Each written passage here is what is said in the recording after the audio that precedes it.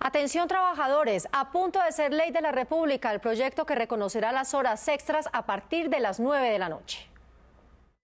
Actualmente la jornada laboral diurna va de 6 de la mañana hasta las 10 de la noche. El proyecto contempla disminuir una hora la jornada laboral.